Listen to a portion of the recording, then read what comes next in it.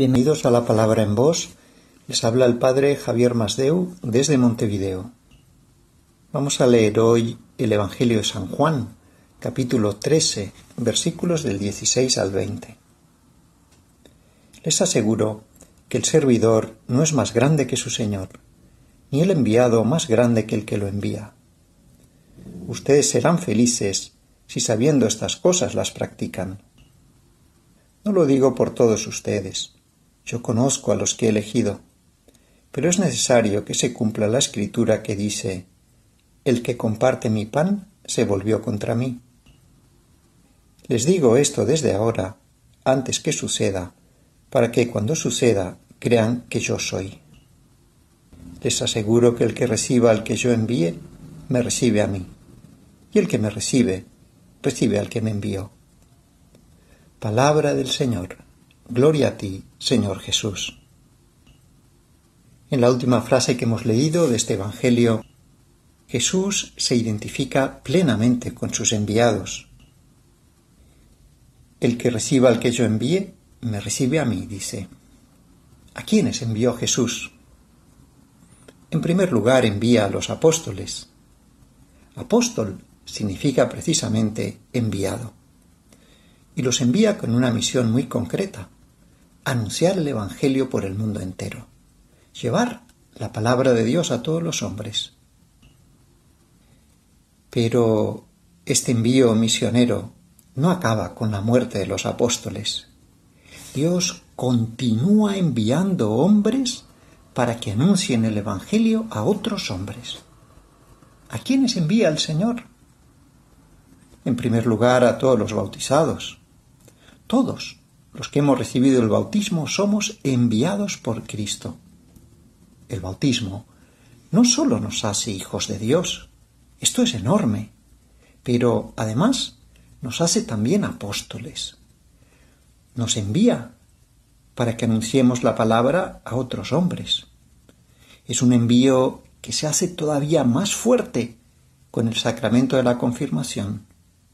Todos, cada uno en su ambiente profesional, familiar y social, es un enviado para que sus colegas, sus familiares, sus amigos descubran a Dios. Pero Dios no solo envía a todos los bautizados, envía de un modo muy especial al Papa, a los obispos, que son los sucesores de los apóstoles.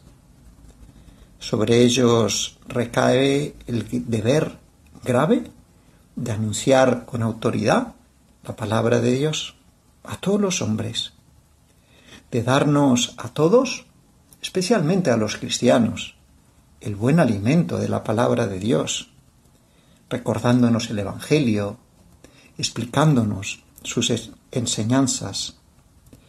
Y Jesús nos habla de la actitud que debemos tener con ellos. Se resume en una palabra, recibirlos. Es decir, recibir las enseñanzas que nos transmiten. Pienso ahora en un detalle, pequeño si queremos. El cardenal Sturla pidió recientemente a los fieles de Montevideo que diariamente recen una oración dedicada a la Virgen acompañada de tres Ave Marías, pidiendo por el fin de la pandemia que estamos viviendo. Una Ave María destinada a los enfermos del coronavirus, otra al personal sanitario, una tercera para los investigadores y las personas que deben tomar decisiones a alto nivel en relación con la pandemia. ¿Cómo lo hemos recibido? Cómo recibimos las otras orientaciones que muchas veces nos dan los obispos. Vamos a pedirle al Señor esa fidelidad de saber recibir siempre a todos aquellos que estén enviados en su nombre. Y que la bendición de Dios Todopoderoso, Padre, Hijo y Espíritu Santo, descienda sobre ustedes.